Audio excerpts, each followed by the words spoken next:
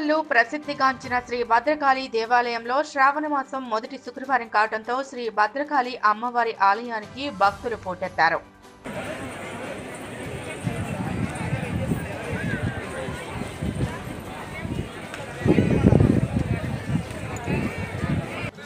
Tine na yala yun. All the best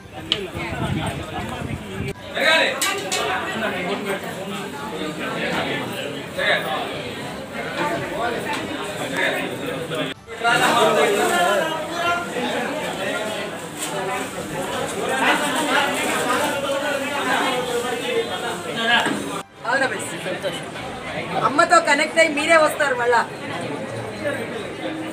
All the best? తప్పకుండా ఇక్కడే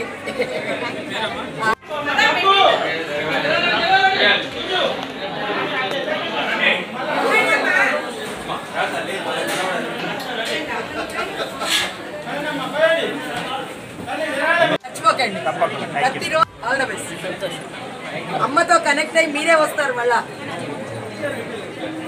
all the best తప్పకుండా. ఇక్కడే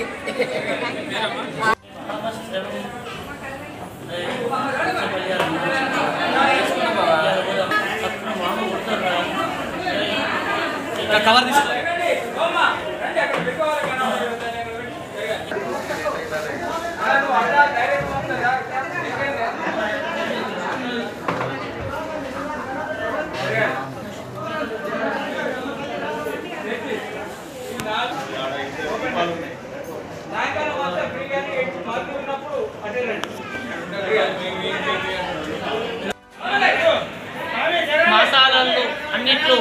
మాసము పవిత్ర మాసము శ్రావణ మాసము. శ్రావణ మాసంలో ముఖ్యంగా అమ్మవారిని ఆరాధించడం ఎంతో శ్రేయస్కరం. అందులో శ్రావణ శుక్రవారం అంటే ఇంద్రాణి అధిదేవత. ఇంద్రాణి దేవిని పూజించడం ద్వారా స్త్రీలకు దీర్ఘ సౌమంగళ్యము ఆయుష్ సకల సిరి సంపదలను ఆ ఇంద్రాణి దేవి ప్రసాదిస్తుంది కనుక శ్రావణ మాసంలో శుక్రవారం నాడు అమ్మవారికి చీరలు సమర్పించడం ఒడిబియ్యం సమర్పించడం ఉంటారు. అమ్మవారికి ఒక చీర పెడితే వంద చీరలు మనకే ఇస్తుంది. కొంత ధాన్యం పోస్తే శ్రీసం అనేక ధనధాన్యాలను మనకు అమ్మవారు కురిపిస్తుంది. కనుక సనాతనంగా హైందవ ధర్మంలో శుక్రవారంలో అందులో శ్రావణ మాసానికి గొప్ప విశిష్టత ఉన్నది.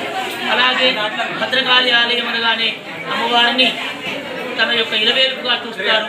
వరంగల్ ప్రజలతో పాటు అన్ని రాష్ట్రాల ప్రజలు కూడా. భద్రకాళి ఆలయంలో ముఖ్యంగా శ్రావణ మాసము అమ్మవారికి నవచండి యాగం మేము చేస్తున్నాము.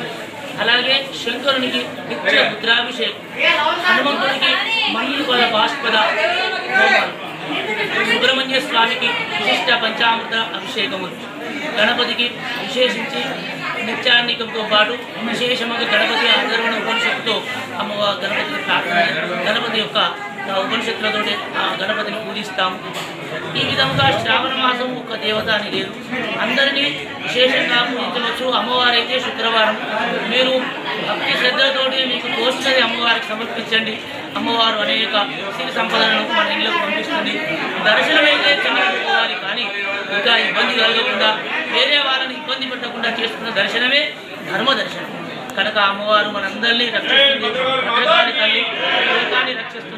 ప్రజలందరూ కూడా శుక్రవారం కొంత ఆలస్యమైన ఏదైనా అమ్మవారిని భక్తి శ్రద్ధలతో దర్శనం చేసుకొని సకల సిరి సంపదలు పొందుదాము. భద్రకాళి శరణం మమ.